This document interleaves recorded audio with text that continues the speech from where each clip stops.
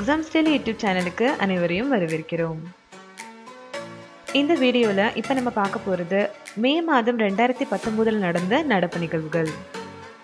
இதுவரை நம்ம யூடியூப் சேனலை சப்ஸ்கிரைப் பண்ணாதவங்க சப்ஸ்கிரைப் பட்டனை கிளிக் பண்ணுங்கள் கூடவே மறக்காமல் பெல் பட்டனையும் கிளிக் பண்ணுங்கள் அப்போ தான் நாங்கள் போடுற ஒவ்வொரு வீடியோவும் உங்களுக்கு உடனுக்குடன் வரும். முக்கிய நாட்கள்.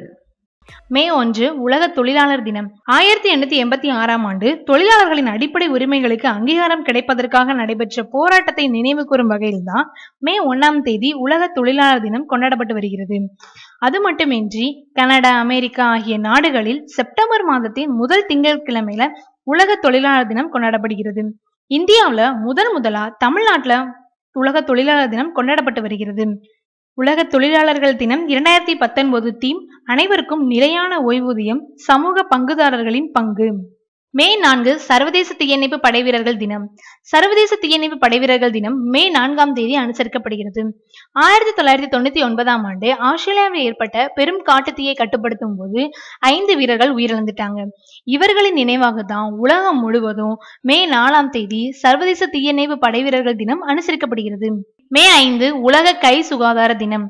அதாவது கை சுகாதாரம் என்பது எப்படி போட்டுறது அப்படின்னா நம்ம உயிரை காக்கிற விஷயம் மாதிரி. எனவே ஆண்டுதோறும் மே ஐந்தாம் தேதி உலக கை சுகாதார தினம் அனுசரிக்கப்பட்டு வருகிறது. உலக சுகாதார அமைப்பு உங்கள் கைகளை சுத்தம் செய்யுங்கள் எனும் உலகளாவிய முயற்சியை தொடங்கியிருக்கு. இரண்டாயிரத்தி பத்தொன்பது உலக கை சுகாதார தினத்தோட theme why infection prevention and hand hygienic are important for quality care May ஏழு உலக தடகள தினம். அட்லாண்டாவில் நடைபெற்ற ஒலிம்பிக் போட்டிகளின் நூற்றாண்டு பதிப்பின் நினைவாக ஆயிரத்தி தொள்ளாயிரத்தி தொண்ணூத்தி ஆறாம் ஆண்டு முதல் மே ஏழாம் தேதி உலக தடகள தினம் கொண்டாடப்பட்டு வருகிறது. தற்போது கோமுதை மாரிமுத்து த எண்ணூறு மீட்டர் தடகள போட்டியில் தங்கப்பதக்கம் வென்றார் என்பது குறிப்பிடத்தக்கது. மே எட்டு உலக செஞ்சிலுவை தினம். செஞ்சிலுவை சங்கத்தை நிறுவிய ஜூன் ஹென்ரி டொனட் என்பவரின் பிறந்த நாளான மே எட்டாம் தேதியை சர்வதேச ரீதியில் செஞ்சிலுவை தினமாக அனுசரிக்கப்பட்டு வருகிறது.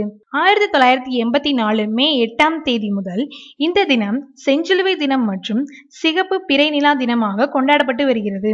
ஜூன் ஹென்ரி டொனட் என்பவர்தான் முதன் முதலில் நோபல் பரிசு பெற்றவர் என்பது குறிப்பிடத்தக்கது.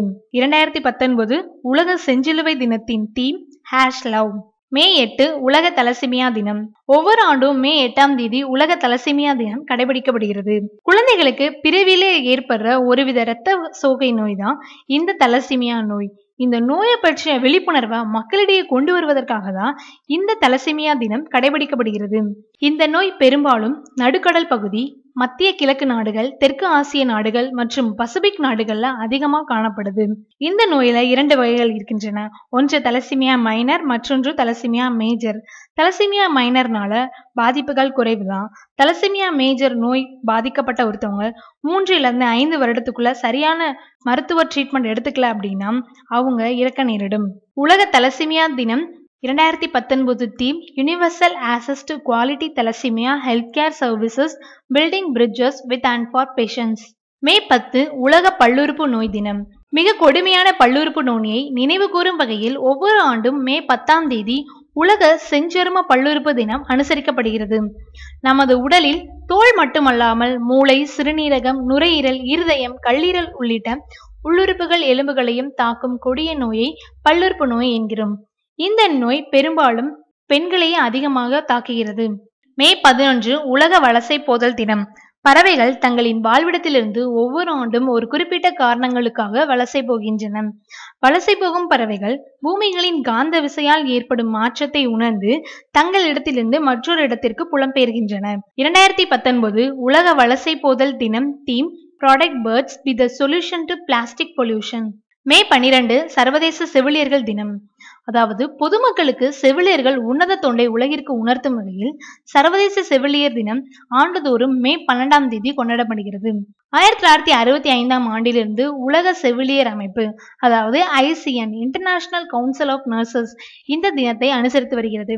ஆயிரத்தி தொள்ளாயிரத்தி எழுவத்தி ஏழாம் ஆண்டு முதல் ஜனவரி மாதம் நவீன செவிலியர் முறையை உருவாக்கிய இங்கிலாந்தைச் சேர்ந்த பிளாரன்ஸ் நைட்டின்கேல் அவருடைய பிறந்த நாளான மே பன்னெண்டாம் தேதி வந்து சர்வதேச செவிலியர் தினமாக அனுசரிக்க முடிவு செய்தது. இரண்டாயிரத்தி பத்தொன்பது சர்வதேச செவிலியர்கள் தினம் theme nurses a voice to lead health for all May பதினைந்து சர்வதேச குடும்ப தினம். குடும்ப ஒற்றுமையின் முக்கியத்துவத்தை அனைவரும் உணர வலியுறுத்தி ஆயிரத்தி தொள்ளாயிரத்தி தொண்ணூத்தி மூணாம் ஆண்டு மே பதினைந்து முதல் ஐக்கிய நாடுகள் சபை சார்பில் சர்வதேச குடும்ப தினம் கொண்டாடப்பட்டு வருகிறது. இரண்டாயிரத்தி பத்தொன்பது சர்வதேச குடும்ப தினத்தின் theme families and climate action focus on SDG thirteen May பதினாறு அமைதியாக இணைந்து வாழ்வதற்கான சர்வதேச தினம். அமைதி சகிப்புத்தன்மை ஒருங்கிணைப்பு புரிதல் ஒற்றுமை ஆகியவற்றை மேம்படுத்துவதற்காக சர்வதேச சமூகத்தின் முயற்சிகளை தொடர்ந்து அணி திரட்டுவதற்கான ஒரு வழிமுறையை ஐநா அமைப்பு மே பதினாறாம் தேதியை அமைதியாக இணைந்து வாழ்வதற்கான சர்வதேச தினமாக அறிவித்தது. மே பதினாறு சர்வதேச ஒளி தினம். முதன் முதலில் வெற்றிகரமாக லேசர் கட்சியை ஆயிரத்தி தொள்ளாயிரத்தி அறுபது மே பதினாறு இயக்கி காட்டிய இயற்பியலாளரும் பொறியியலாளருமான டேலர் மைனன் பிறந்த நாளின் நினைவாக ஒவ்வொரு ஆண்டும் சர்வதேச ஒளி தினம் கொண்டாடப்பட்டு வருகிறது. இந்த தினம் என்ன பண்றாங்க அப்படின்னா விஞ்ஞான ஒத்துழைப்பை வலுப்படுத்துவதற்கும் சமாதானம் நிலையான வளர்ச்சியை வளர்ப்பதற்கான அதன் திறனை பெறுவதற்குமான உழைப்பு ஆகும்.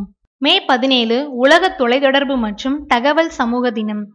ஆயிரத்தி தொள்ளாயிரத்தி முப்பத்தி நாலாம் ஆண்டில் உலக தந்தி சங்கம் உலக தொலைத்தொடர்பு சங்கம் என பெயர் மாற்றம் செய்யப்பட்டது. இந்த ஆண்டு உலக தொலைத்தொடர்பு மற்றும் தகவல் சங்கத்தினத்தின் ஐம்பதாவது ஆண்டு விழாவை நாம் கொண்டாடுகிறோம். இது ஆயிரத்தி தொள்ளாயிரத்தி அறுபத்தி ஆறு முதல் ஆண்டுதோறும் கொண்டாடப்பட்டு வருகிறது. மே பதினேழு உலக தொலைத்தொடர்பு மற்றும் ச- தகவல் சமூக தினம் இரண்டாயிரத்தி பத்தொன்பது theme bridging the standardisation gap May பதினேழு உலக உயர் இரத்த அழுத்த தினம். உலக சுகாதார நிறுவனம் உயர் இரத்த அழுத்தம் குறித்து இரண்டாயிரத்தி ஐந்தாம் ஆண்டில் உலகளாவிய விழிப்புணர்வு பிரச்சாரத்தை தொடங்கியது. இதனைத் தொடர்ந்து ஒவ்வொரு ஆண்டும் மே பதினேழாம் தேதி உலக உயர் இரத்த அழுத்த தினமாக கொண்டாடப்பட்டு வருகிறது. இரண்டாயிரத்தி பத்தொன்பது உலக உயர் இரத்த அழுத்த தினம் theme know your numbers May பதினேழு ஹேமோபோபியா டிரான்ஸ்போபியா மற்றும் பைபோபியாவுக்கு எதிரான சர்வதேச தினம். ஹோமோபோபியாவுக்கு எதிரான சர்வதேச தினத்தின் நிறுவனர்கள் இந்த தினத்தை ஊக்குவிக்க மற்றும் மே பதினாலாம் தேதியை அதிகாரப்பூர்வ அங்கீகாரம் பெறுவதற்காக ஐடிஏஹெச்ஓ கமிட்டியை நிறுவினார்கள். ஹோமோபோபியா டிரான்ஸ்போபியா மற்றும் பைபோபியாவுக்கு எதிரான சர்வதேச தினத்தை நிறுவனர் லூயிஸ் ஜார்ஜின் என்பது குறிப்பிடத்தக்கது. இரண்டாயிரத்தி பத்தொன்பது தீம் உலக பார்வை அனைவருக்கும் நீதி மற்றும் பாதுகாப்பு. மே பதினெட்டு உலக எய்ட்ஸ் தடுப்பூசி தினம். உலக எய்ட்ஸ் தடுப்பூசி தினம் ஆண்டுதோறும் மே பதினெட்டாம் தேதி அனுசரிக்கப்படுகிறது. மே பதினெட்டு ஆயிரத்தி தொள்ளாயிரத்தி தொண்ணூத்தி ஏழில் அப்போதைய ஜனாதிபதி பில் ஹில்டன் மார்க்கன் மாநில பல்கலைக்கழகத்தில் நிகழ்த்திய உரையில் உலக எய்ட்ஸ் தடுப்பூசி தினம் தொடர்பான கருத்து வேரூன்றியது. ஆயிரத்தி தொள்ளாயிரத்தி தொண்ணூத்தி எட்டாம் ஆண்டு மே பதினெட்டாம் தேதி ஹில்டன் நிகழ்த்திய உரையை நினைவு கூர்வதற்காக முதல் உலக எய்ட்ஸ் தடுப்பூசி தினம் அனுசரிக்கப்பட்டது. இன்று வரை இந்த பாரம்பரியம் தொடர்கிறது. மே பதினெட்டு சர்வதேச அருங்காட்சியக தினம். ஆயிரத்தி தொள்ளாயிரத்தி எழுவத்தி ஏழு முதல் ஒவ்வொரு ஆண்டும் சர்வதேச அருங்காட்சியக சமுதாயத்திற்கான தனிப்பட்ட தருணத்தை பிரதிநிதிப்படுத்துவதற்கும் சர்வதேச அருங்காட்சியக தினம் ஏற்பாடு செய்யப்பட்டது. இரண்டாயிரத்தி பத்தொன்பது theme museums as cultural hubs the future of tradition May இருபது உலக தேனி தினம். உலக தேனி தினம் ஆண்டுதோறும் மே இருபதாம் தேதி அனுசரிக்கப்படுகிறது. நவீன தேனீ வளர்ப்பு நுட்பங்களின் முன்னோடி அண்டன் ஜான்சாவின் கடின உழைப்பினை நினைவுகூரும் வகையில் ஒவ்வொரு ஆண்டும் மே இருபதாம் தேதி உலக தேனி தினம் அனுசரிக்கப்படுகிறது. மே இருபத்தி ஒன்று உலக கலாச்சார பன்முகத்தன்மையின் முன்னேற்ற தினம். இரண்டாயிரத்தி ஒன்னாம் ஆண்டு யுனெஸ்கோ கலாச்சார பன்முகத்தன்மை பற்றிய உலக அளவிலான பிரகடனத்தை ஏற்றுக்கொண்டது. அதன்படி டிசம்பர் இரண்டாயிரத்தி இரண்டில் ஐநா பொதுச்சபை அதன் தீர்மானம் ஐம்பத்தி ஏழு பார் இருநூத்தி நாற்பத்தி ஒன்பதில் உலக கலாச்சார பன்முகத்தன்மையின் முன்னேற்ற தினமாக மே இருபத்தி ஒன்றாம் தேதியை அறிவித்தது. மே இருபத்தி ரெண்டு உயிரியல் பல்வகைமைக்கான சர்வதேச நாள். ஐக்கிய நாடுகள் சபை மே இருபத்தி இரண்டு அன்று பல்வேறு பல்லுயிரிய விவகாரங்களை புரிந்து கொள்ள மற்றும் விழிப்புணர்வை அதிகரிப்பதற்காக உயிரியல் பல்வகைமைக்கான சர்வதேச தினத்தை அறிவித்தது. இரண்டாயிரத்தி பத்தொன்பது theme our biodiversity our food our health மே இருபத்தி மூன்று மகப்பேரியல் பிஸ்துலாவுக்கு முடிவு காணும் சர்வதேச தினம். ஐக்கிய நாடுகள் சபையால் மே இருபத்தி மூன்றாம் தேதி மகப்பேரியல் பிஸ்துலாவுக்கு முடிவு காணும் சர்வதேச தினம் அனுசரிக்கப்பட்டது. இந்த தினம் வளரும் நாடுகளில் பல பெண்களை பாதிக்கும் மகப்பேரியல் பிஸ்துலாவுக்கு சிகிச்சை அளிக்க மற்றும் தடுக்கும் நடவடிக்கைகளை எடுக்க ஊக்குவிக்கிறது. மே இருபத்தி ஐந்து உலக தைராய்டு நாள். ஜெர்மனியில் உள்ள லீப்சிக் இடிஏ மாநாட்டிற்கு முன்னதாக இரண்டாயிரத்தி ஏழு செப்டம்பர்ல தைராய்டு ஃபெடரேஷன் சர்வதேச உறுப்பினர்கள் உலக தைராய்டு தினத்தை உருவாக்க முடிவு செஞ்சாங்க. அதன்படி முதல் உலக தைராய்டு நாள் இரண்டாயிரத்தி எட்டு மே இருபத்தி ஐந்துலேருந்து கொண்டாடப்பட்டு வருகிறது. மே இருபத்தி ஐந்து சர்வதேச காணாமல் போன குழந்தைகள் தினம். சர்வதேச காணாமல் போன குழந்தைகள் தினம் ஒவ்வொரு ஆண்டும் மே இருபத்தி ஐந்தாம் தேதி அனுசரிக்கப்படுகிறது. இது ஒரு விழிப்புணர்வு நிகழ்வு ஆகும். குழந்தைகளின் கடத்தல்களின் பிரச்சனையில் கவனத்தை திசை திருப்பவும் மேலும் தங்கள் குழந்தைகளை பாதுகாப்பதற்காக பெற்றோருக்கு கல்வி கற்கும் நோக்கத்தோடு இந்த நாள் அனுசரிக்கப்படுகிறது. மே இருபத்தி எட்டு உலக பசி தினம். அதாவது பசி திட்டம் என்னும் நிறுவனம் உலக பசி தினம் என்று அழைக்கப்படும் ஒரு முயற்சியை தொடங்கினாங்க. மே இருபத்தி எட்டு அன்று இது அனுசரிக்கப்படுகிறது. பசி திட்டம் எனும் நிறுவனம் உலக பசிக்கு ஒரு பன்முக தீர்வை கண்டறியும் ஒரு உலகளாவிய அமைப்பு ஆகும். பசி மற்றும் வறுமைக்கு நிலையான தீர்வுகளை கொண்டு வருவதன் நோக்கத்தோடு இந்த நாள் அனுசரிக்கப்படுகிறது. மே இருபத்தி எட்டு சர்வதேச அம்னஸ்டி தினம். மே இருபத்தி எட்டு அன்று சர்வதேச அம்னஸ்டி தினம் அனுசரிக்கப்படுகிறது. இந்த தினம் ஆயிரத்தி தொள்ளாயிரத்தி அறுபத்தி ரெண்டாம் ஆண்டு முதல் மே இருபத்தி எட்டு அன்று ஆண்டுதோறும் கொண்டாடப்படுகிறது.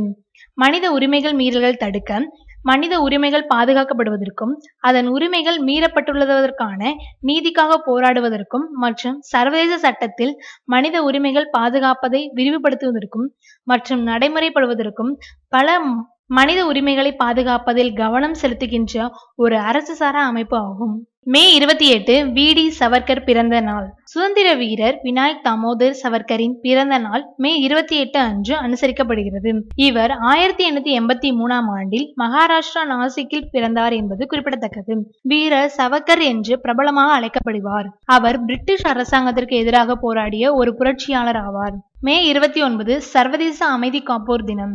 இரண்டாயிரத்தி ஒன்னாம் ஆண்டில் ஐக்கிய நாடுகளின் பொதுச்சபை ஐக்கிய நாடுகளின் அமைதி காக்கும் நடவடிக்கைகளில் ஈடுபட்டுள்ள ஆண் பெண் இரு சாரரையும் கௌரவப்படுத்துவதற்கும் சமாதானப்படுத்துவதற்கும் இந்த நடவடிக்கையின் போது உயிர் நீத்தவர்களை ஞாபகமூட்டுவதற்கும் மே இருபத்தி ஒன்பதாம் தேதியை ஐக்கிய நாடுகளின் சர்வதேச அமைதி காப்போர் தினமாக பிரகடனப்படுத்தியது. மே இருபத்தி ஒன்பது உலக டைஜஸ்டிவ் ஹெல்த் தினம். ஒவ்வொரு மே இருபத்தி ஒன்பதாம் தேதி அன்று உலக இறைப்பை குடலியல் அமைப்பு மற்றும் அறக்கட்டளையுடன் இணைந்து உலக டைஜஸ்டிவ் ஹெல்த் தினத்தை கொண்டாடுகிறது. மேலும் நூத்தி பத்துக்கும் மேற்பட்ட உறுப்பினர்கள் மூலம் இந்த பிரச்சாரத்தை உலகளாவிய பொது சுகாதார பிரச்சாரமாக உருவாக்கிறது. மே முப்பது உலக பல ஸ்கிளீரேசிஸ் நாள். ஒவ்வொரு ஆண்டும் மே முப்பதாம் தேதி வந்து உலக பல ஸ்க்ளீரேசிஸ் நாள் உத்தியோகபூர்வமாக குறிக்கப்படுகிறது. இரண்டாயிரத்தி பத்தொன்பது பிரச்சாரம் என் கண்ணுக்கு தெரியாத எம்எஸ் மற்றும் டீம் தெரிவு நிலை ஆகும். இரண்டாயிரத்தி ஒன்பதாம் ஆண்டில் சர்வதேச கூட்டமைப்பு மற்றும் அதன் உறுப்பினர்கள் முதல் உலக பல ஸ்கிரீலசிஸ் தினத்தை தொடங்கினர். மே முப்பத்தி ஒன்று உலக புகையிலை தினம். உலக சுகாதார அமைப்பு டபிள்யூஹெச்ஓ ஒவ்வொரு ஆண்டும் மே முப்பத்தி ஒன்னாம் தேதியை புகையிலை ஒழிப்பு தினமாக கடைபிடிச்சிட்டு வராங்க. இவங்க வந்து மக்களிடம் விழிப்புணர்வை ஏற்படுத்தியும் வராங்க. ஒரு சிகரெட்ல நாலாயிரம் வகையான வேதிப்பொருட்கள் இருக்கின்றன. இதுல பாதிக்கு மேல ரொம்ப மோசமான வேதிப்பொருட்கள் இருக்கின்றன என்பது குறிப்பிடத்தக்கது. உலக புகையிலை தினம் இரண்டாயிரத்தி பத்தொன்பது தீம் புகையிலை மற்றும் நுரையீரல் சுகாதாரத்தில் இந்த ஆண்டு கவனம் செலுத்த உள்ளது. மாநாடுகள். முதல்ல சர்வதேச மாநாடுகள். வளர்ந்து வரும் நாடுகளின் உலக வணிக அமைப்பின் அமைச்சர்கள் கூட்டம். இந்த உலக வணிக அமைப்பின் அமைச்சர்கள் கூட்டம் அதாவது வளர்ந்து வரும் நாடுகளோட உலக வணிக அமைப்பின் அமைச்சர்கள் கூட்டம் எங்க நடந்ததுன்னு பாத்தீங்கன்னா புதுதில்லியில இந்தியால. மே பதிமூணுல இருந்து பதினான்கு தேதிகள்ல நடந்திருக்கு. இந்த கூட்டத்துல பதினாறு வளர்ந்து வரும் நாடுகள் ஆறு குறைந்த வளர்ச்சி அடைந்த நாடுகள் மற்றும் உலக வர்த்தக அமைப்பின் பொது இயக்குனர் எல்லாருமே கலந்துக்கிட்டாங்கன்றது குறிப்பிடத்தக்கது. இந்த டபிள்யூடிஓன்னு சொல்ற உலக வர்த்தக அமைப்பு என்னன்னு பார்த்தோம்னா இது நாடுகளுக்கு இடையேயான உலக வர்த்தக விதிகளை கையாளும் ஒரே உலகளாவிய சர்வதேச அமைப்புன்றது குறிப்பிடத்தக்கது. இது ஜனவரி ஒன்று ஆயிரத்தி தொள்ளாயிரத்தி தொண்ணூற்றி அஞ்சில் உருவாயிருக்கு. இதில் நூற்றி அறுபத்தி நான்கு உறுப்பினர் நாடுகள் இருக்காங்க. இதோட தலைமைச் செயலகம் சுவிட்சர்லாண்டில் இருக்க ஜெனீவான்ற இடத்துல அமைஞ்சிருக்கு. இங்கே நம்ம என்ன மாதிரி கேள்விகளை எதிர்பார்க்கலாம் அப்படின்னு பார்த்தீங்கன்னா இந்த வளர்ந்து வரும் நாடுகளின் உலக வணிக அமைப்பின் அமைச்சர்கள் கூட்டம் எங்கே நடந்ததுன்னு கேட்கலாம். எங்கன்னா புதுதில்லியில். ஆப்பிரிக்காவில் ஜவுளி இயந்திரங்களின் கண்காட்சி. இந்தியாவின் சர்வதேச ஜவுளி உற்பத்தி இயந்திர கண்காட்சி அதாவது இந்தியா ஐடிஎம்இ சங்கம்னு சொல்லுவாங்க. இவங்க அடுத்த ஆண்டு அதாவது ரெண்டாயிரத்தி இருபதுல பிப்ரவரி பதினான்கு மற்றும் பதினாறு தேதிகள்ல ஆப்பிரிக்கால இருக்க அடிஸ் அபாபான்ற இடத்துல இந்த ஜவுளி இயந்திரங்கள் கண்காட்சியை ஏற்பாடு செய்யலான்னு முடிவு செஞ்சிருக்காங்க. இது எத்தியோப்பாவின் வர்த்தக மற்றும் துறை சங்கங்கள் மூலம் இணைந்து ஏற்பாடு செய்யலாம் அப்படின்னு முடிவு செஞ்சிருக்காங்க. இந்த இந்தியாவின் சர்வதேச ஜவுளி உற்பத்தி இயந்திர கண்காட்சி சங்கம் இது ஆயிரத்தி தொள்ளாயிரத்தி எண்பதாம் ஆண்டு உருவானது. இது எங்க அமைஞ்சிருக்குன்னா மகாராஷ்டிரால இருக்க மும்பைன்ற இடத்துல தான் இந்த சங்கம் இருக்கு. இது டெக்ஸ்டைல் இன்ஜினியரிங் துறையில பணியாற்றும் ஒரு லாப நோக்கமற்ற நிறுவனம் அப்படின்றது குறிப்பிடத்தக்கது. இங்க என்ன மாதிரி கேள்விகள் எதிர்பார்க்கலாம்னு பாத்தீங்கன்னா இந்த ஆப்பிரிக்காவில் ஜவுளி இயந்திரங்கள் கண்காட்சி எப்போ நடக்க போகுதுன்னு கேட்கலாம். அது ரெண்டாயிரத்தி இருபது பிப்ரவரி பதினாலு மற்றும் பதினாறு தேதிகளில் எந்த இடத்துலன்னு கேட்டால் அடிஸ் அபாபா. ஜெனீவாவில் நடைபெற்ற பாசல் ரொட்டர்டாம் மற்றும் ஸ்டாக்ஹோம் மாநாட்டின் சிஓபி கூட்டங்களில் இந்தியா பங்கேற்றது. மூன்று மாநாடோட கூட்டம் அதாவது பேசல் மாநாட்டிற்கான பதினான்காவது கூட்டம் ராட்டர்டாம் மாநாட்டிற்கான ஒன்பதாவது கூட்டம் அப்புறம் ஸ்டாக்ஹோம் மாநாட்டிற்கான ஒன்பதாவது கூட்டம். இது இணைஞ்சு ஜெனீவால நடந்தது. இந்த மூணு மாநாடும் இதுல இந்தியா பங்கேற்றதுன்றது குறிப்பிடத்தக்கது. இந்த ஆண்டு கூட்டத்தோட தீம் என்னன்னு பாத்தீங்கன்னா சுத்தமான பிளானட் ஆரோக்கியமான மக்கள் கெமிக்கல்ஸ் மற்றும் கழிவுகளின் ஒளி மேலாண்மை. அதாவது clean planet healthy people sound management of chemicals and waste அப்படின்றதா இந்த ஆண்டு அந்த மூன்று கூட்டத்தோட தீம் அப்படின்றது குறிப்பிடத்தக்கது. இதுல இந்த பேசல் மாநாடு அதாவது பேசல் கன்வென்ஷன் அப்படின்னு சொல்லுவாங்க இந்த உடன்படிக்கை அப்படின்றது எதை குறிச்சது அப்படின்னு பார்த்தீங்கன்னா எல்லை கடந்த அபாயகரமான கழிவுப் பொருட்களோட கடத்தல் மற்றும் அதை எப்படி அகற்றுறது. இதை குறிச்ச மாநாடு தான் இந்த பேசல் மாநாடு அதாவது பேசல் கன்வென்ஷன் உடன்படிக்கைன்னு சொல்லுவாங்க. அடுத்து ஸ்டாக்ஹோம் கன்வென்ஷன் ஸ்டாக்ஹோம் உடன்படிக்கை எதுக்குன்னா கரிம மாசுபாடுகள்ல இருந்து மக்களோட உடல்நலையும் சுற்றுச்சூழலையும் பாதுகாப்பதற்கான ஒரு உடன்படிக்கை தான் இந்த ஸ்டாக்ஹோம் உடன்படிக்கை. அடுத்து ரோட்டர்டாம் உடன்படிக்கை. இது ஆபத்தான கெமிக்கல்ஸ் மற்றும் பூச்சிக்கொல்லிகள் அப்படின்றது சம்பந்தப்பட்ட ஒரு இதுதான் இந்த ரோட்டர்டாம் உடன்படிக்கை. இதுல நம்ம என்ன மாதிரி கேள்விகள் எதிர்பார்க்கலாம் அப்படின்னு பாத்தீங்கன்னா இந்த மூன்று மாநாடுகளோட கூட்டம் சேர்ந்து எங்க நடந்துச்சு அப்படின்னு கேட்கலாம் எங்க நடந்ததுன்னா ஜெனீவால. இதோட தீம் பாத்தீங்கன்னா clean planet healthy people sound management of chemicals and waste SCO வெளியுறவுத்துறை மந்திரிகள் கிர்கிஸ்தான் பிஷ்கேகில் சந்திக்கின்றனர். இந்த எஸ்இஓ அதோட வெளியுறவுத்துறை மந்திரிகள் அதாவது எஸ்இஓ அமைப்பு ஷாங்காய் ஒத்துழைப்பு அமைப்போட மந்திரிகள் வெளியுறவுத்துறை மந்திரிகள் வந்து கிர்கிஸ் கிர்கிஸ்தான்ல இருக்க பிஷ்கேக்ன்ற இடத்துல சந்திச்சிருக்காங்க. இதுல இந்தியாவோட வெளியுறவுத்துறை மந்திரி சுஷ்மா ஸ்வராஜ் அவங்க அவங்க வந்து கலந்துகிட்டாங்க. இந்த கூட்டம் சர்வதேச மற்றும் பிராந்திய முக்கியத்துவத்தின் மேற்பார்வை பிரச்சனைகளை குறித்து பரிமாற்றம் செய்யும் வகையில அமைஞ்சது அப்படின்றது குறிப்பிடத்தக்கது. இப்ப இந்த ஷாங்காய் ஒத்துழைப்பு அமைப்பு அப்படின்னா என்னன்னு பார்த்தோம்னா இது ரெண்டாயிரத்தி ஒன்னாம் ஆண்டு தொடங்கப்பட்ட ஒரு அமைப்பு. இதை யாரெல்லாம் தொடங்கியிருக்காங்க அப்படின்னா சைனா ரஷ்யா கசகஸ்தான் கிர்கிஸ்தான். இந்த நான்கு நாடுகளும் சேர்ந்துதான் இந்த ஷாங்காய் ஒத்துழைப்பு அமைப்பை தொடங்கினாங்கன்றது குறிப்பிடத்தக்கது. அதுக்கப்புறம் தான் உஸ்பெகிஸ்தான் இதுல இணைஞ்சது. இந்தியாவும் பாகிஸ்தானும் ரெண்டாயிரத்தி பதினேழுல அஸ்தானா அப்படின்னு அப்படின்ற ஒரு மாநாடு அஸ்தானான்ற இடத்துல நடந்த மாநாட்டில் தான் இதுல முழு நேர உறுப்பினரா கலந்துகிட்டாங்கன்றது குறிப்பிடத்தக்கது. இங்க நம்ம என்ன மாதிரி கேள்விகள் எதிர்பார்க்கலாம் அப்படின்னு பாத்தீங்கன்னா இந்த ஷாங்காய் ஒத்துழைப்பு அமைப்போட வெளியுறவுத்துறை மந்திரிகள் கூட்டம் எங்க நடந்ததுன்னு கேட்கலாம். எங்கன்னா கிர்கிஸ்தான் பிஷ்கேக்ல. ஜிஎஃப்டிஆர்ஆரின் ஆலோசனை குழுவுக்கு இணைத்தலைவராக இந்தியா. இந்த ஜிஎஃப்டிஆர்ஆர் அதாவது பேரழிவு குறைப்பு மற்றும் மீட்புக்கான உலகளாவிய வசதிகள் இந்த ஆலோசனை குழுவுக்கு ரெண்டாயிரத்தி இருபது நிதியாண்டிற்கான இணைத்தலைவராக இந்தியா வந்து தேர்ந்தெடுத்திருக்காங்கன்றது குறிப்பிடத்தக்கது. இது பேரழிவு ஆபத்து குறைப்பு ரெண்டாயிரத்தி பத்தொன்பதுக்கான குளோபல் மேடையின் ஆறாவது அமர்வு. இந்த ஆறாவது அமர்வு அந்த கூட்டம் எங்க நடந்ததுன்னு பாத்தீங்கன்னா சுவிட்சர்லாந்துல இருக்க ஜெனீவாவில். இந்த கூட்டத்துல தான் இந்த முடிவை வந்து எடுத்திருக்காங்க அப்படின்றது குறிப்பிடத்தக்கது. இந்த கூட்டத்துல தான் இந்தியாவை வந்து ரெண்டாயிரத்தி இருபது நிதியாண்டிற்கான இணை தலைவரா வந்து தேர்ந்தெடுத்திருக்காங்க அப்படின்றது குறிப்பிடத்தக்கது. இந்த ஜிஎஃப்டிஆர்ஆர் அப்படின்றது என்னன்னு பாத்தீங்கன்னா உலகளாவிய பேரழிவு ஆபத்து மேலாண்மை திட்டங்களை ஆதரிக்கக்கூடிய அதே சமயம் உலக வங்கியால் நிர்வகிக்கப்படுற ஒரு மானிய நிதி அமைப்பு தான் இந்த ஜிஎஃப்டிஆர்ஆர் இதுல நம்ம என்ன மாதிரி கேள்விகளை எதிர்பார்க்கலாம் அப்படின்னு பாத்தீங்கன்னா இந்த கூட்டம் எங்க நடந்ததுன்னு கேட்கலாம் அதாவது இந்த பேரழிவு ஆபத்து குறைப்போட ஆறாவது அமர்வு இது சுவிட்சர்லாந்து ஜெனீவால நடந்தது. இல்ல இந்தியா வந்து எந்த ஆண்டிற்கான தலைவரா தேர்ந்தெடுக்காங்க அப்படின்னா ரெண்டாயிரத்தி இருபது நிதியாண்டிற்கான இணை தலைவராக தேர்ந்தெடுக்கப்பட்டிருக்காங்க. பிஷ்கெக்கில் இரண்டாவது எஸ்சிஓ மாஸ் மீடியா கருத்துக்களம். எஸ்சிஓ இந்த ஷாங்காய் ஒத்துழைப்பு அமைப்போட இரண்டாவது மாஸ் ஊடக கருத்துக்களம் பிஸ்கேக் கிர்கிஸ்தான்ல இருக்க பிஷ்கேக்ல மே மாதம் இருபத்தி மூணுல இருந்து இருபத்தி ஆறுல நடைபெற்றிருக்கின்றது குறிப்பிடத்தக்கது.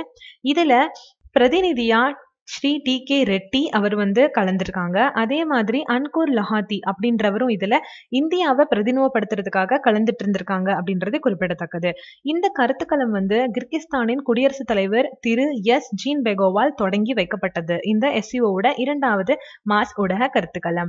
இந்த எஸ்சிஓ வந்து நம்ம பார்த்த மாதிரி ரெண்டாயிரத்தி ஒன்றாம் ஆண்டு தொடங்கப்பட்டது. இதோட உறுப்பினர்கள் வந்து China Russia Kazakhstan Kyrgyzstan Uzbekistan Pakistan மற்றும் இந்தியா.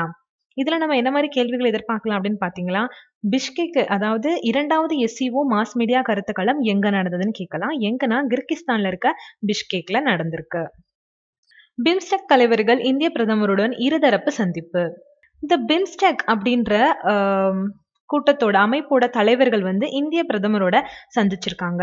பிம்ஸ்டெக் என்னும் பல்துறை தொழில்நுட்பம் மற்றும் பொருளாதார ஒத்துழைப்புக்கான ஒரு குழு வங்காள விரிகுடா விளிம்பு நாடுகளின் சந்திப்பில் தலைவர்கள் பங்கேற்றனர். எல்லா தலைவர்களும் இதுல பங்கேற்றிருக்காங்க. இது இந்திய பிரதமரோட ஒரு சந்திப்பு.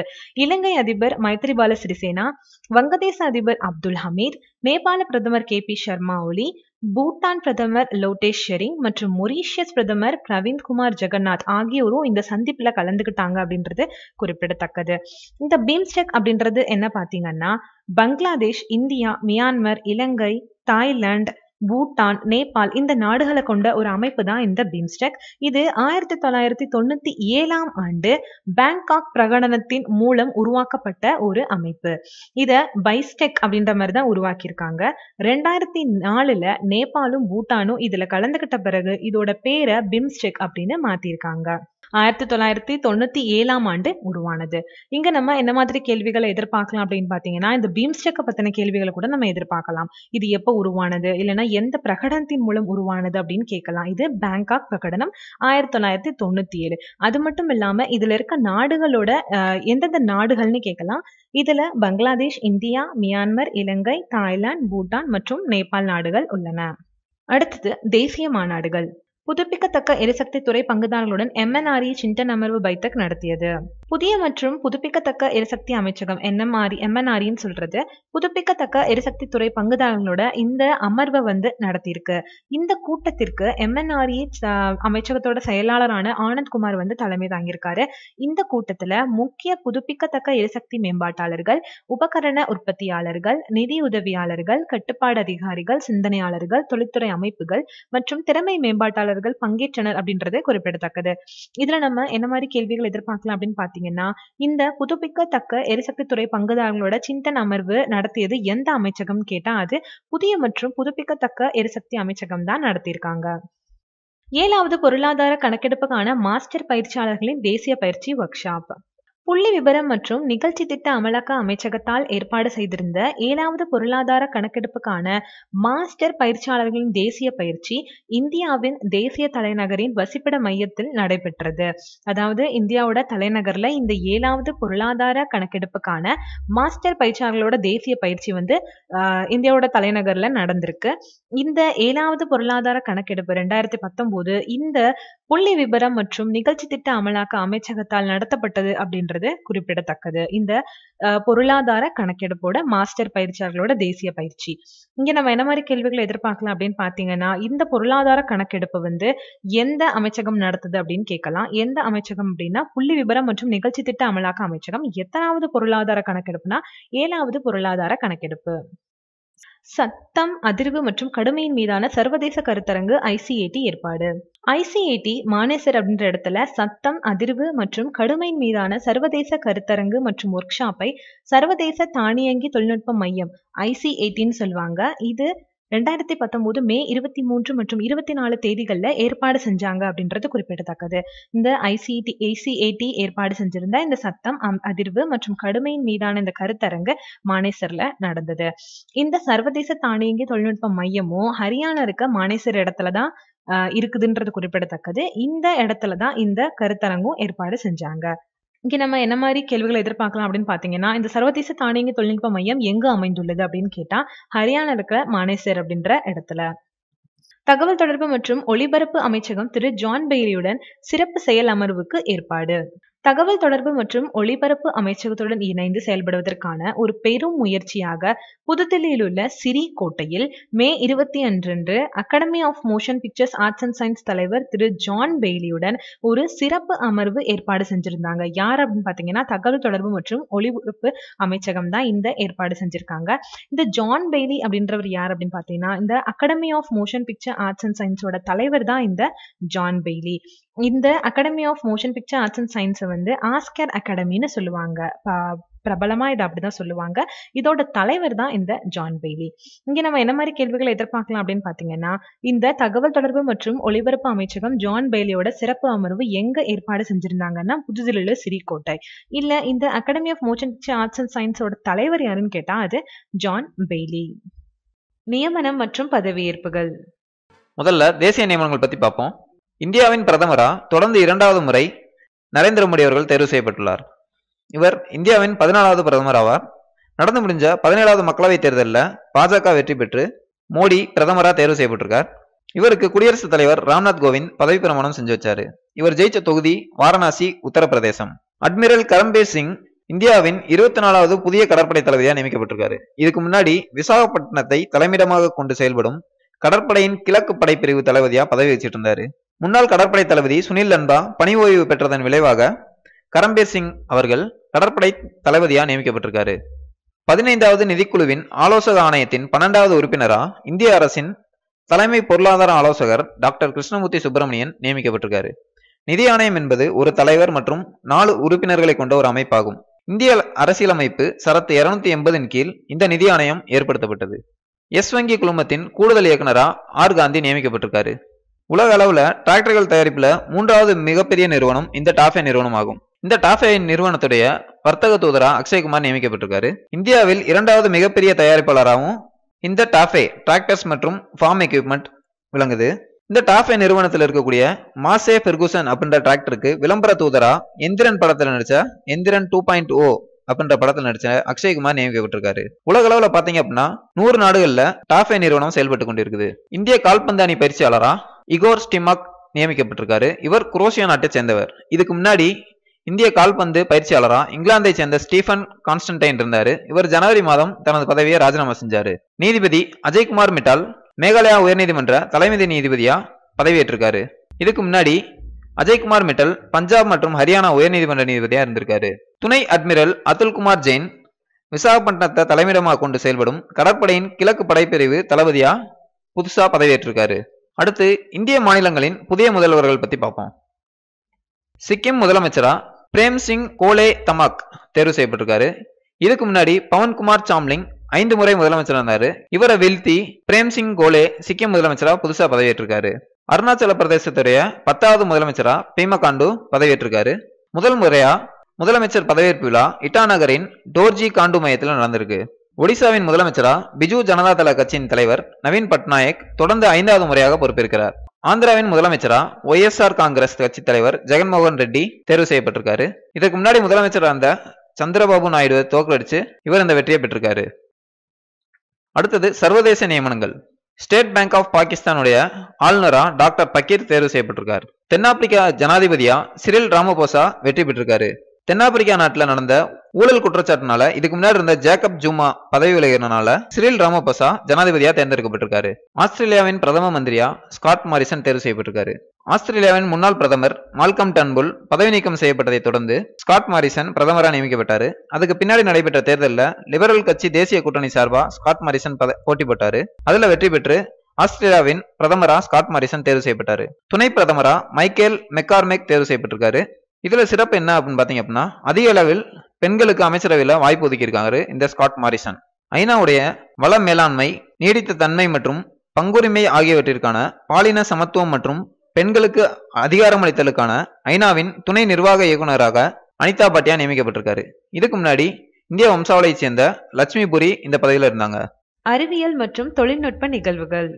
காந்த விசை ரயில் முன்மாதிரியை சீனா அறிமுகப்படுத்தியுள்ளது. இந்த ரயில் காந்த விசையில இயங்கக்கூடியதாகவும் இது மிக அதிவேக அளவுல செல்லக்கூடியதாகவும் அறிமுகப்படுத்தியிருக்காங்க. மேலும் இந்த ரயிலோட வேகம் மணிக்கு சுமார் அறுநூறு கிலோமீட்டர்ல செல்லக்கூடியதா வடிவமைக்கப்பட இருக்குன்னு சீனா அறிமுகப்படுத்தியிருக்காங்க. உலகளாவிய ஆறுகளில் உயிர்கொல்லி கழிவுகள் முன்னூறு மடங்கு அதிகரித்துள்ளது. உலகில் உள்ள அனைத்து ஆறுகள்லையும் சுமார் முன்னூறு மடங்கு உயிர்கொல்லி கழிவுகள் கலந்து அந்த ஆறுகள் அனைத்தும் மாசடைஞ்சதா மே மாசம் இருபத்தி ஏழாம் தேதி நடந்த மாநாட்டில் அறிவிச்சிருக்காங்க.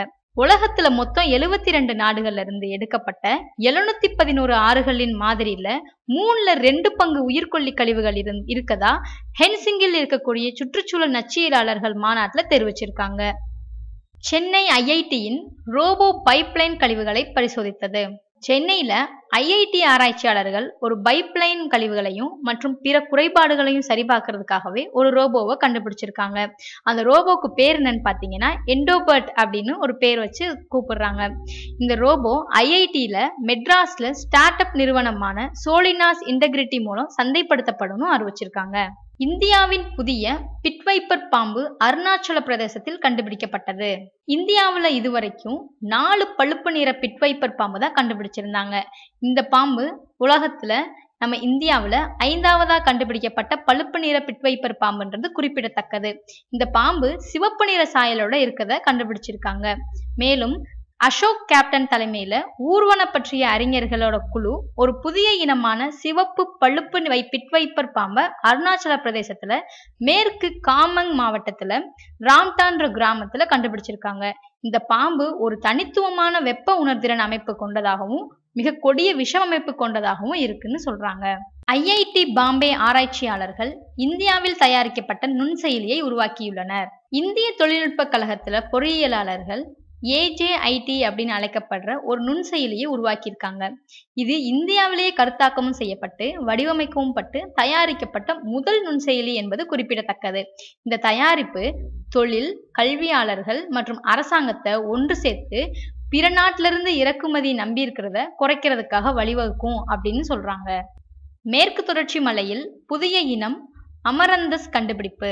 கேரளாவில் தென்மேற்கு மலைப்பகுதியில் இருக்கக்கூடிய அமரந்த சினத்தை சேர்ந்த ஒரு புதிய வகை தாவரத்தை மாநிலத்தில் இருக்க மூணு கல்லூரிகளும் மற்றும் திருவனந்தபுரத்தை சேர்ந்த புற்றுநோய் மண்டல மையங்களை சேர்ந்த ஆராய்ச்சியாளர்களும் புதுசா கண்டுபிடிச்சிருக்காங்கன்றது குறிப்பிடத்தக்கது. ஐஐடி பாம்பே அணியக்கூடிய சூப்பர் மின்தேக்கியை உருவாக்கியுள்ளது. பாம்பே இந்திய தொழில்நுட்ப கழகத்தோட ஆராய்ச்சியாளர்கள் மைக்ரோவாட் முதல் மில்லிவாட் அளவில் ஆற்றலை வழங்கக்கூடிய மேலும் இதை அணியக்கூடிய மின்தேக்கியாகவும் உருவாக்கியிருக்காங்க. இந்த சாதனத்தில் சேமிக்கப்பட்ட ஆற்றல் வந்து என்னன்னு பார்த்தீங்கன்னா ஜிபிஎஸ் இருப்பிட அடிப்படையிலான டிரான்ஸ்மிட்டர்கள். அப்படி இல்லைன்னா ஒன்னு புள்ளி எட்டு வோல்ட் எல்இடியை சார்ஜ் செய்யுன்றதும் குறிப்பிடத்தக்கது.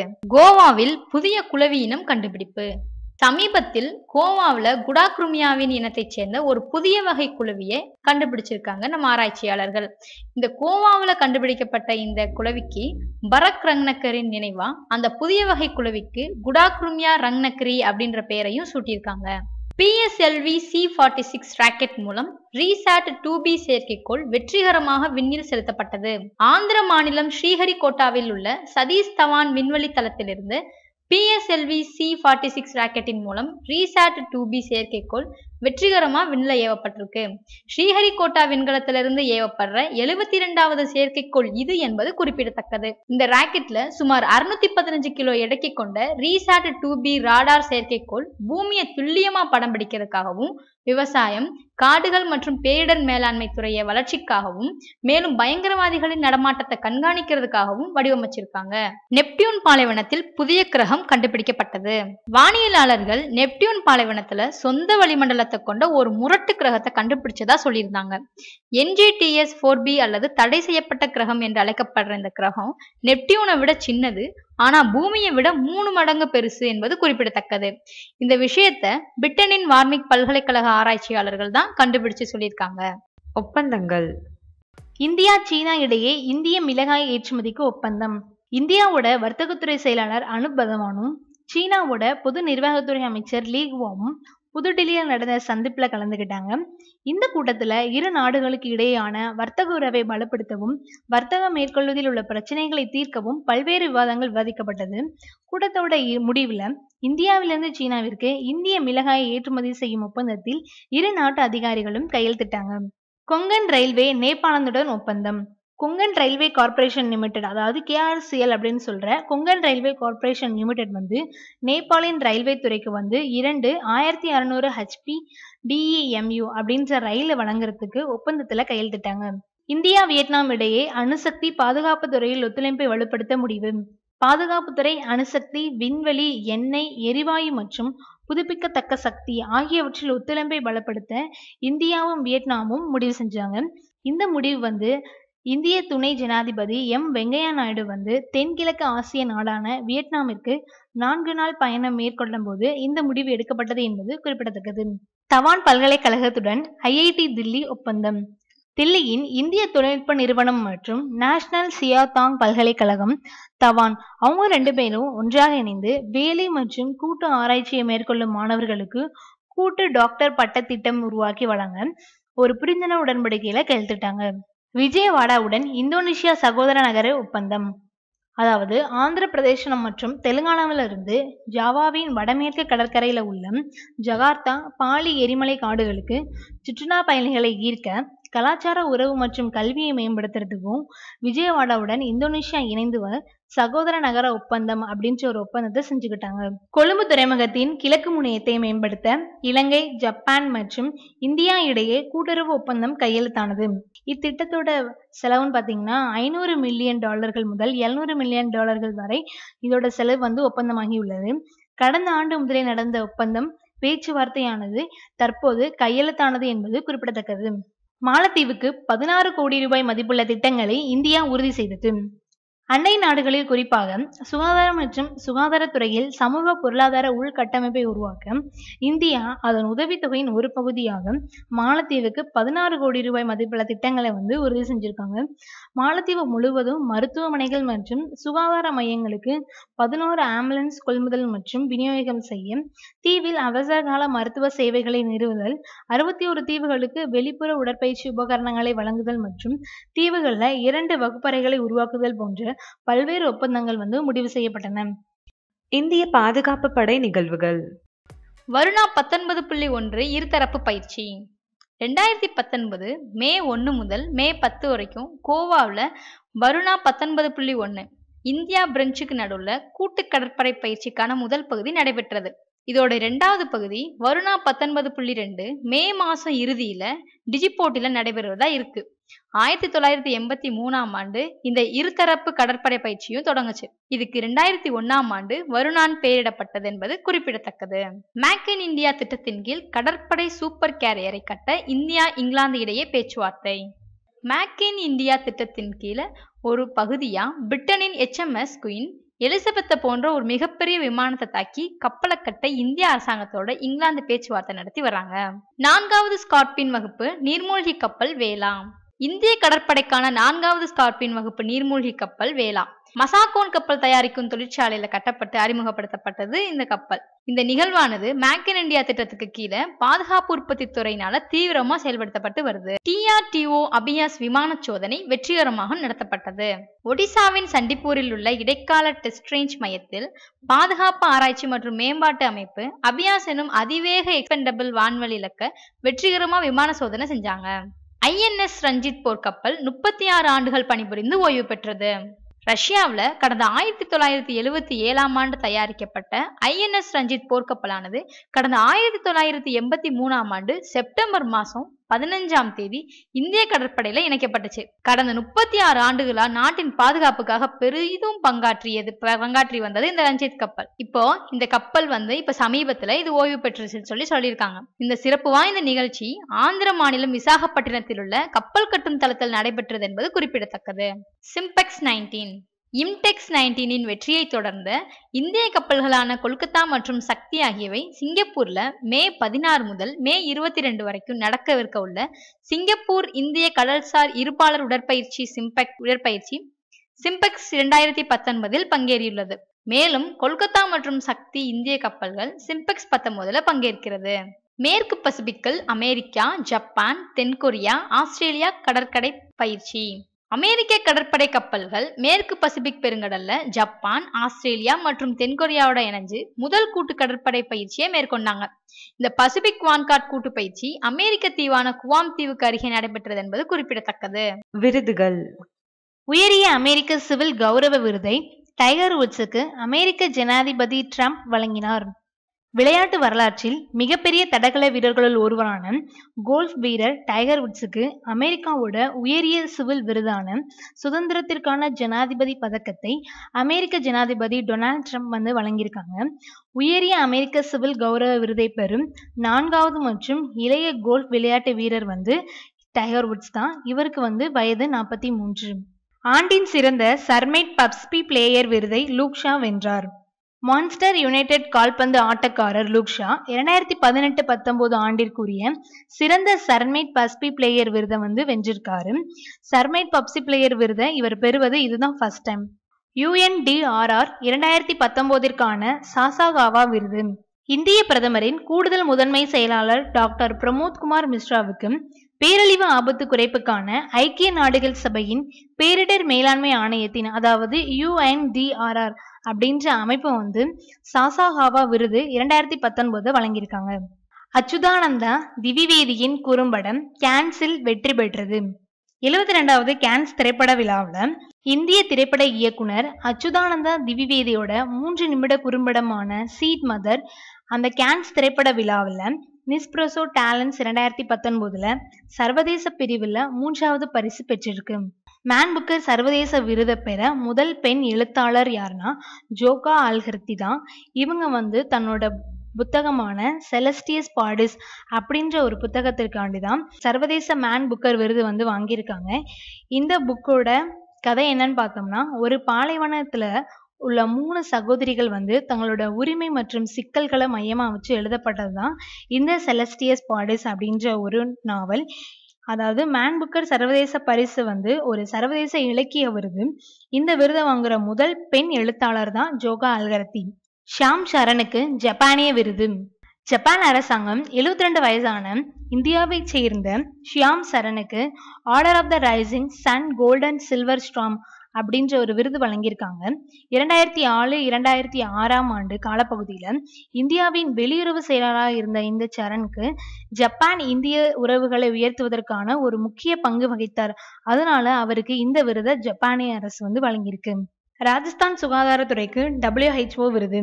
இந்த ஆண்டுக்கான உலக சுகாதார அமைப்பு விருதுக்கு ராஜஸ்தான் அரசு மருத்துவ மற்றும் சுகாதாரத்துறை புகையிலை கட்டுப்பாட்டில் செய்த சாதனைக்காக தேர்வு செஞ்சிருக்காங்க.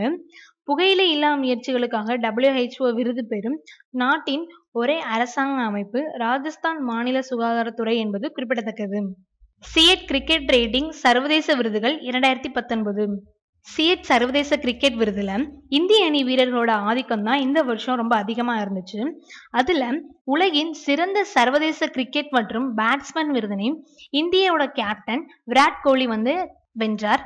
இந்திய டெஸ்ட் அணியின் நம்பர் த்ரீ பேட்ஸ்மேன் புஜாரா வந்து ஆஸ்திரேலியாவுக்கு எதிரான வரலாற்று டெஸ்ட் தொடர வெல்ல முக்கிய காரணமாக இருந்ததுனால இவருக்கு உலகின் சிறந்த டெஸ்ட் வீரருக்கான விருது வழங்கியிருக்காங்க. இந்த வருஷத்தோட சிறந்த சர்வதேச ஒருநாள் கிரிக்கெட் வீரருக்கான விருதினை வந்து ரோஹித் சர்மாக்கு கொடுத்துருக்காங்க. அவர் வந்து இந்திய தொடக்க ஆட்டக்காரரான இவர் வந்து கடந்த கடந்த வருஷத்துல ஆயிரத்தி முப்பது ரன்களை எடுத்திருக்காரு. இதுல ஐந்து அரை சதங்கள் அடங்கும். இந்திய கிரிக்கெட் அணியோட ஒரு முதுகெலுமா இருந்து வருவதான் ஜஸ்பிரீத் பும்ரா. இவர் இந்த வருஷத்தோட சர்வதேச பந்து வீச்சாளர் அப்படின்ற ஒரு விருதை தட்டி சென்றிருக்காரு.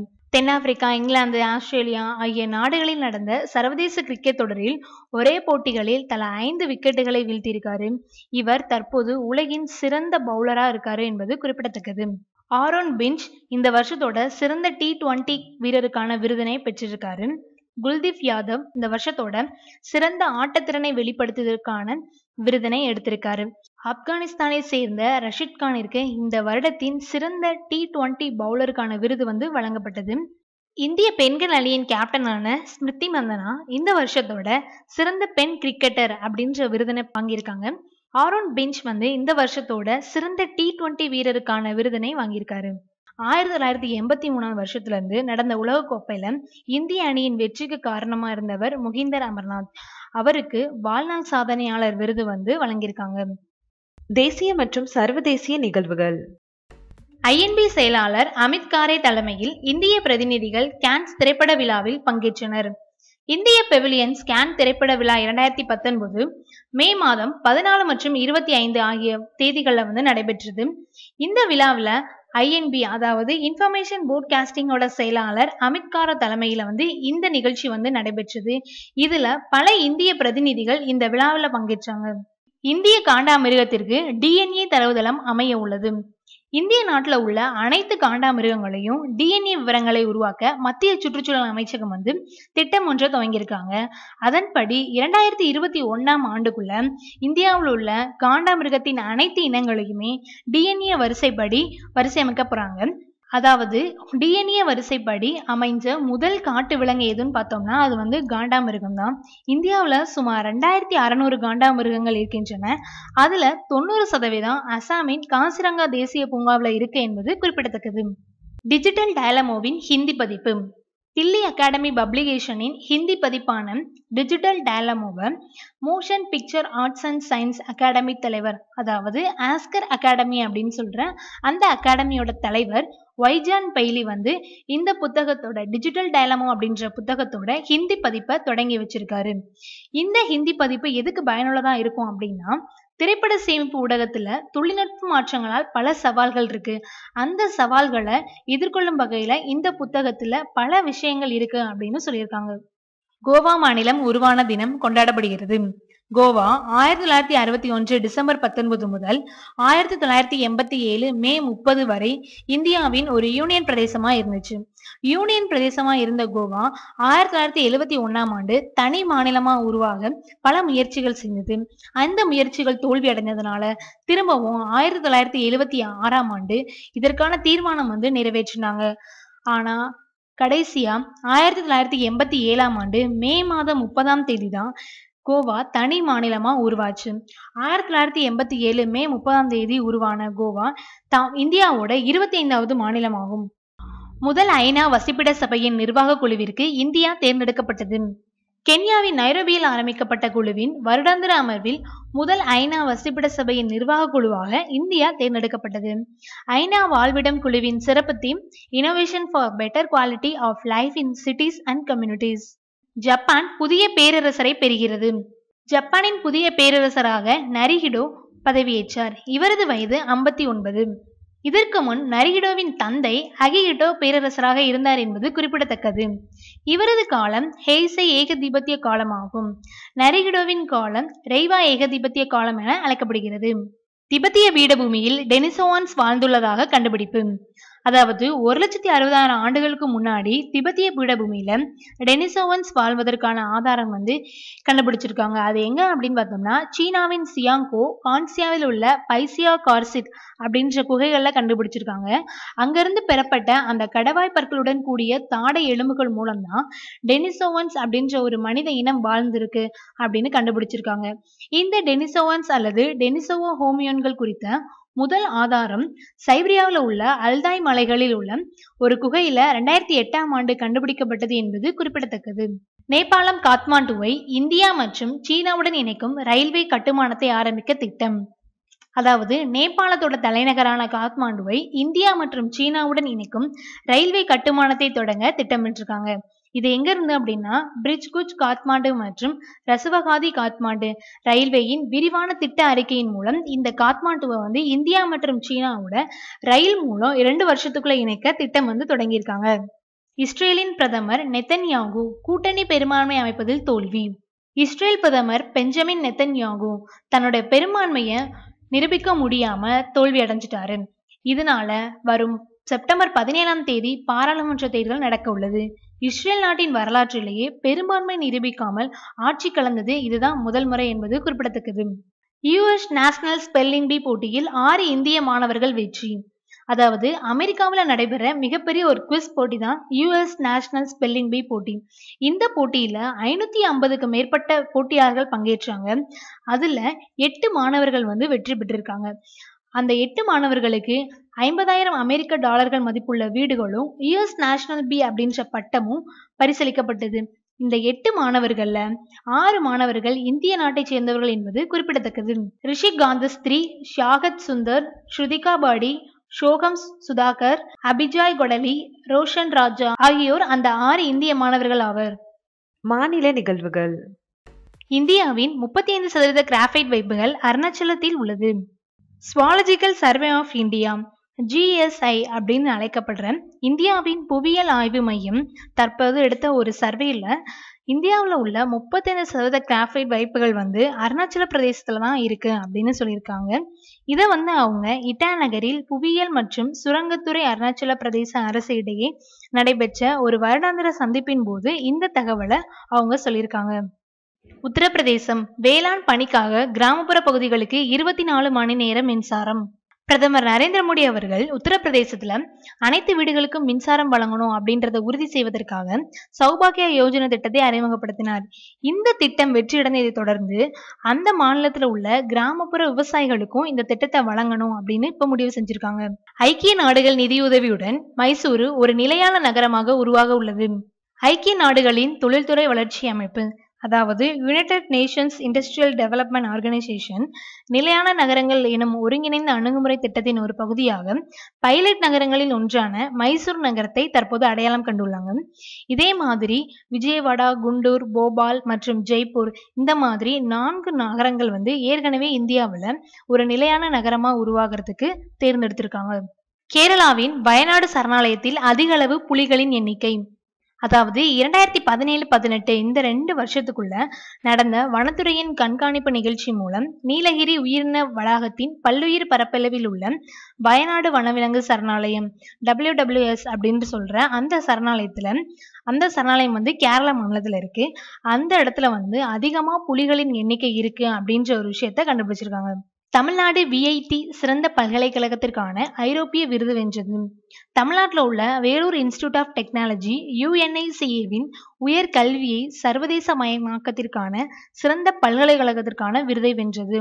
இந்த யுஎன்ஐசிஏ அப்படின்னா network of university from the capital of Europe அதாவது ஐரோப்பாவின் பெல்ஜியம் பிரான்சிஸை தலைமையமாக கொண்ட ஒரு பல்கலைக்கழக நெட்வொர்க் ஆகும். புதுதில்லி ஜிஎஸ்டி தொடர்பான பிரிவை ஐஜிஎன்ஓயு தொடங்க உள்ளது. அதாவது ஐஜிஎன்ஏயு அப்படின்றது என்னன்னா இந்திரா காந்தி தேசிய திறந்தநிலை பல்கலைக்கழகம். அது வந்து தில்லியில இருக்கு.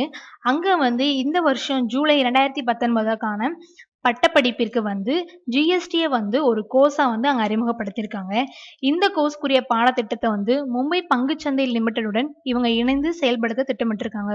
மகாராஷ்டிரா ஆஸ்கர் அகாடமி தலைவர் மராத்தி திரைப்பட விருதுகள் விழாவில் பங்கேற்க உள்ளார். அதாவது இப்போ வந்து சமீபத்தில் மகாராஷ்டிரா மாநிலத்தில் வந்து மராத்தி திரைப்பட விருது விளங்கும் விழா வந்து நடைபெற்றிருந்தது. இந்த விழாவில் சிறப்பு விருந்தினராக motion picture arts and science academy அதாவது ஆஸ்கர் அகாடமின்னு சொல்கிறேன் இந்த அகாடமியோட தலைவரான ஜான் பெய்லி வந்து பங்கேற்றாரு. இதன் மூலமா இந்தியாவில் நடைபெறும் ஒரு விருது வழங்கும் விழாவில் பங்கேற்கும் முதல் அகாடமி தலைவரானார் ஜான் பெய்லி விளையாட்டு தொடர்பான நிகழ்வுகள்.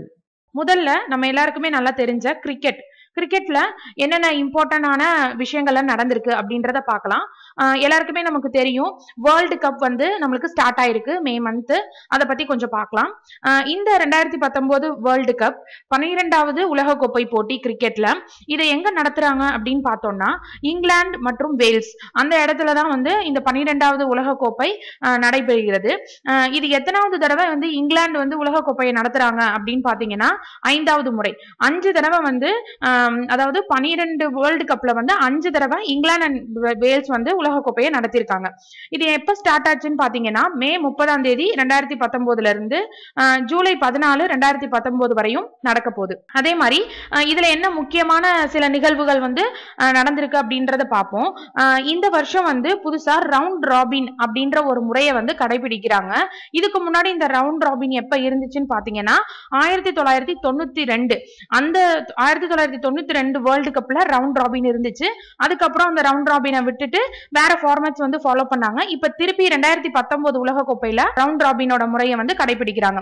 இந்த ரவுண்ட் ராபினா என்னன்னு சப்போஸ் சில பேருக்கு தெரியாம இருக்கும். அப்படின்னா என்னன்னா ஒவ்வொரு டீமும் அதாவது பூல் ஏ பூல் பி அப்படின்னு ஸ்பிளிட் அப் பண்ணாம ஒவ்வொரு டீமும் எல்லா கண்ட்ரிஸ் இப்போ மொத்தமா இந்த வேர்ல்டு கப்ல பத்து டீம் விளையாடுறாங்க. அப்ப இந்தியா அப்படின்னா மத்த ஒன்பது டீம் கூடயும் மேட்ச் விளையாடணும். அதுக்கப்புறம் அதோட ரவுண்ட் ராபின் பேசிஸ்ல அவங்க நெக்ஸ்ட் குவாலிஃபயர்ஸ்க்கு போவாங்க.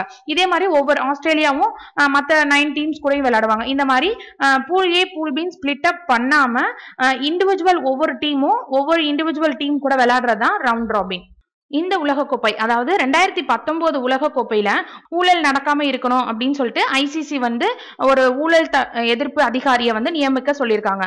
அப்ப இந்த ரெண்டாயிரத்தி பத்தொன்பது உலகக்கோப்பையில இருந்து ஒவ்வொரு அணிக்கும் டோட்டலா வந்து பத்து அணிகள் இருக்கு. அப்ப பத்து ஊழல் எதிர்ப்பு அதிகாரிகள் வந்து நியமிக்கப்பட உள்ளனர். இந்த ஆண்கள் வேர்ல்டு கப் டூ தௌசண்ட் நைன்டீனுக்கு ஒரு வந்து அபிஷியலா ஒரு பாடல் ஒன்று வெளியிட்டு இருக்கிறாங்க அந்த பாடலோட பேர் என்ன அப்படின்னா ஸ்டாண்ட் பை ஸ்டாண்ட் பைன்றதான் அந்த அதிகாரப்பூர்வ உலக கோப்பைக்கான பாடலோட பெயர். யார் இதை வந்து ஆஹ் வெளியிட்டிருக்காங்க? எந்த வந்து பிளாட்ஃபார்ம்ல வெளியிட்டிருக்காங்கன்னா லாயன் அண்ட் ருடிமெண்டல் அப்படின்ற பிளாட்ஃபார்ம்ல தான் வந்து இந்த சாங்கை வந்து வெளியிட்டிருக்காங்க. அந்த சாங்கோட பேர் என்னன்னா ஸ்டாண்ட் பை அதாவது two thousand nineteen men's world கப்போட official song name என்ன அப்படின்னா ஸ்டாண்ட் பை இப்ப எப்படின்னா ஐசிசியோட முதல் பெண் போட்டி நடுவரா வந்து ஒரு இந்திய பெண் வந்து வர்றாங்க. அவங்க யாருன்னு பாத்தீங்க அப்படின்னா இந்திய பெண்கள் கிரிக்கெட் அணின்னு முன்னாள் வீராங்கனை. அவங்க பேர் வந்து லக்ஷ்மி. அவங்கள வந்து இந்தியாவில இருந்து போற முதல் பெண் போட்டி நடுவ நடுவரா வந்து பணியாற்ற இருக்கிறார். பிசிசிஐ நம்ம எல்லாருக்குமே தெரியும். இந்தியால உள்ள கிரிக்கெட்டுக்கு வந்து ஒரு போர்டு இருக்கு. அதுதான் வந்து பிசிசிஐ அதுக்கு வந்து ஒரு எலெக்ஷன் வைக்க போறாங்க. அந்த எலெக்ஷன் எப்ப நடக்க போகுது அப்படின்னா அக்டோபர் இருபத்தி ரெண்டு அந்த பிசிசிஐ எலெக்ஷனுக்கு வந்து கோர்ட் வந்து ஒருத்தவங்கள வந்து நியமிச்சிருக்காங்க. அவங்க பேர் வந்து நரசிம்மா. இது வந்து நிறைய எக்ஸாம்ஸ்ல வந்து கேட்க வாய்ப்பு இருக்கு. ஏன்னா பிசிஐ எலெக்ஷன் வந்து எப்ப நடக்க போகுது? அதுக்கப்புறம் கோர்ட் வந்து யார நியமிச்சிருக்காங்க? சிஇஓவா அந்த மாதிரி கேட்கலாம். உங்க பேர் வந்து நரசிம்மா. இது இல்லாம ஒரு எக்ஸ்ட்ரா நியூஸ் சொல்றேன். லாஸ்ட் ஆர்ஆர்பி எக்ஸாம் நடந்துச்சு. நம்ம எல்லாருக்குமே தெரியும். ஜேஇ அதுல ஒரு எக்ஸாம் ஒரு கொஸ்டின் கேட்டிருந்தாங்க. ஐபிஎல்லோட ஃபைனல் மேட்ச் வந்து எங்க நடந்துச்சு? அப்படின்னு சொல்லிட்டு கேட்டிருந்தாங்க. அதனால கொஞ்சம் ஐபிஎலுக்கும் வந்து நம்ம இம்பார்ட்டன்ஸ் கொடுக்கலாம். இந்த தடவை வந்து ஐபிஎல் மேட்ச் நடந்துச்சு. எல்லாருக்குமே தெரியும். அதுல யார் ஜெயிச்சிருக்கா? ஏதாவது முக்கியமான சாதனைகள் இருக்கான்றத பார்க்கலாம். ரெண்டாயிரத்தி பத்தொன்பது ஐபிஎல் எங்க நடந்துச்சு ஃபைனல் ஃபைனல்ல யாரு எந்த ரெண்டு டீம் விளையாண்டாங்க அப்படின்றத நம்ம பார்க்கலாம். இது வந்து பனிரெண்டாவது சீசன் இந்த ரெண்டாயிரத்தி பத்தொன்பது ஐபிஎல் வந்து பனிரெண்டாவது சீசன் இது எங்க ஃபைனல்ஸ் நடந்துச்சு அப்படின்னு பாத்தீங்கன்னா ஹைதராபாத்.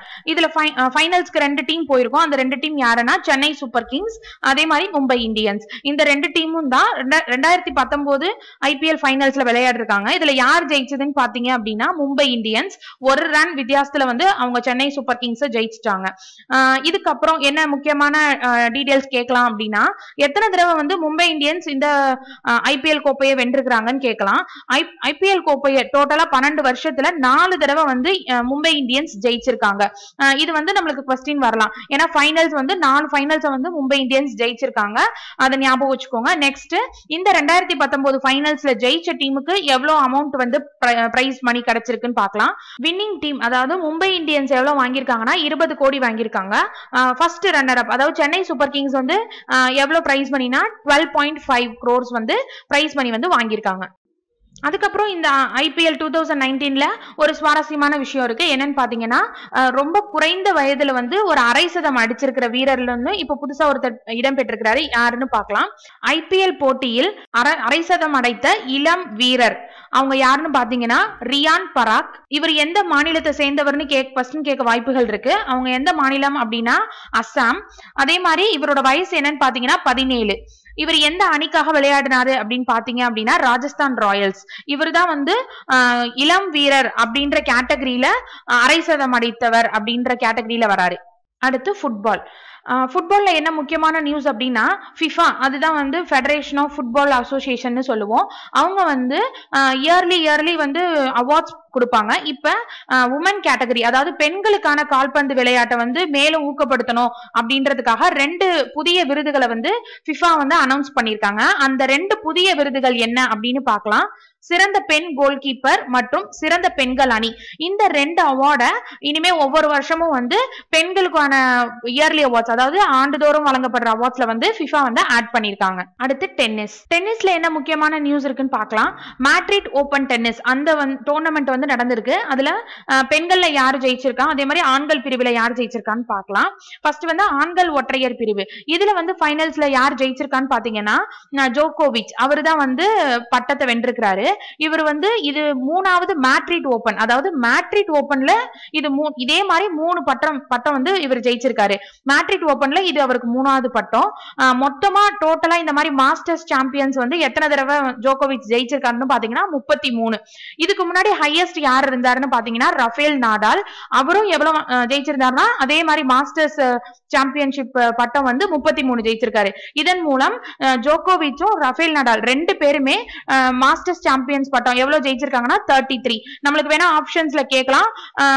ஆப்ஷன்ல வந்து யாராவது ஒருத்தரை மட்டும் கொடுத்து யார் வந்து அதிகப்படியான மாஸ்டர் சாம்பியன் பட்டம் வென்றிருக்கிறாங்க அப்படின்னு கேட்கலாம். பெண்கள்ல பாத்தீங்க அப்படின்னா இதே மேட்ரிட் ஓபன் டென்னிஸ்ல பெண்கள் பிரிவுல யாரு ஜெயிச்சிருக்காங்க அப்படின்னு பாத்தீங்கன்னா கிக்கி பெர்டென்ஸ் இவங்க தான் வந்து இந்த வருஷம் மேட்ரிட் ஓபன் டென்னிஸோட ஃபைனல்ஸை ஜெயிச்சிருக்காங்க.